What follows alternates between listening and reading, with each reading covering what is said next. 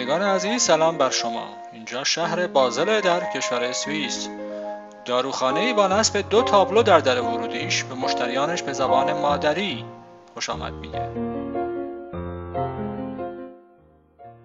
محله بیرسفلدن در شهر بازل بیش از ده هزار نفر جمعیت داره و حدود سی درصد از این جمعیت رو خارجیانی از مناطق مختلف جهان تشکیل میدن.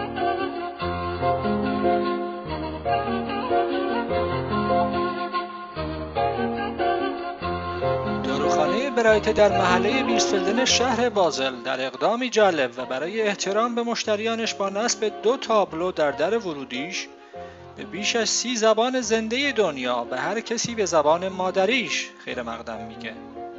سری زدیم به صاحب داروخانه تا ببینیم ایده خوشامدگویی به زبان مادری به مشتریانش از کجا نشأت گرفته. Also, mein Name ist Andi Weiss. Ich bin Apotheker und Drogist. من دکتر اندی وایس هستم صاحب این داروخانه. شش سال قبل وقتی داروخانه را تحویل گرفتم از شهرداری محل تحقیقاتی انجام دادم تا بدانم چه کسانی در این محله زندگی می کنند در بیلفلدن مردم از کشورهای مختلف جهان با هم زندگی می کنند من خودم را شهروند جهانی می دانم و برای احترام به مشتریان داروخانه تصمیم گرفتم جمله خوش آمدید را به زبان ساکن محل ترجمه کنم.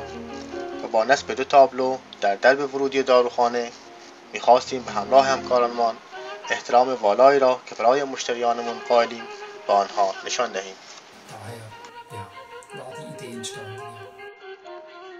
در سوئیس کشوری با چهار زبان رسمی احترام به زبان مادری امری طبیعی است مجید نوری اکادمی رادیو زمان بازل سوئیس